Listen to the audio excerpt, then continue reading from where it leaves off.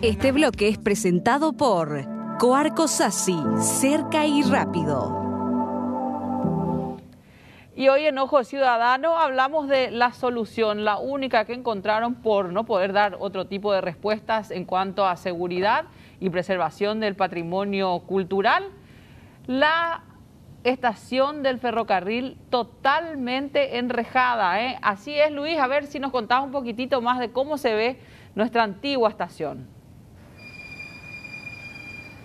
Así mismo, Leti, y ya por lo menos este pasillo, que es emblemático porque es eh, una fachada que suele ver la gente que viene a Asunción, los asuncenos mismos, los extranjeros que vienen a conocer la famosa estación del ferrocarril, conocen este pasillo que ya está completamente enrejado de, eh, a todos los costados en este caso para evitar justamente el ingreso de lo que se suele dar con eh, las movilizaciones campesinas, también las movilizaciones indígenas que se ocupa este espacio emblemático y desde ya el viernes pasado empezó el trabajo de enrejado. Eso sí, todavía hay mucha, mucho por hacer aquí en la estación del ferrocarril, todavía se ve bastante dejado en su infraestructura, bastante golpeado, incluso con algunas eh, quebraduras en varios en varias de las paredes, en varios de los pilares, y todavía continúa el trabajo Leti porque no solamente esta parte es la que se va a enrejar, sino también el famoso paseo central el, al costado, la estación central del ferrocarril, que es un importante paso para la ciudadanía.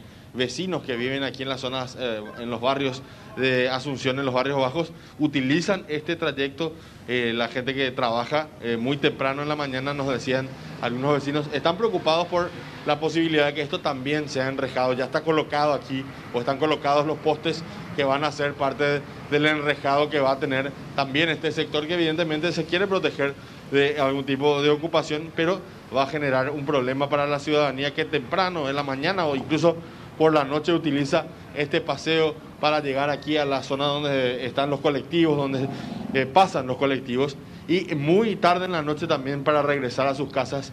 Están preocupados por la situación de seguridad que se ve en las calles alternativas, hablamos de Antequera y México, que son calles bastante peligrosas y bastante oscuras. Así está, en este momento todavía en la estación central del ferrocarril con el enrejado ya de, parte eh, de su edificio y lo que va a hacer o va a significar el enrejado también de este paseo peatonal que pronto se terminará y va a concluir con el enrejado total de este emblemático edificio.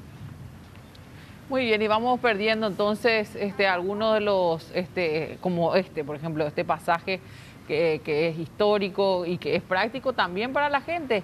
Lastimosamente, seguridad es lo que no nos pueden garantizar desde eh, el gobierno, ni mucho menos desde la Municipalidad de Asunción. Gracias, Luis. Esto era Ojo Ciudadano. Este bloque fue presentado por Coarco Sassi, cerca y rápido.